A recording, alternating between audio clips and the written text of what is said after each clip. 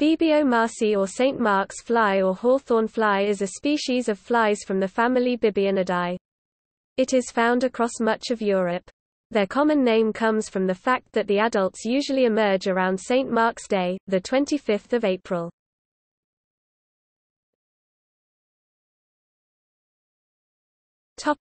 Biology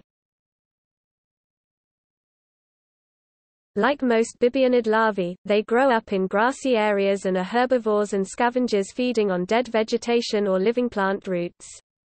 Bibio marci larvae are known to be root damage pests of celery, asparagus, roses, saxifrages, lawn grass, lettuce and polyanthus.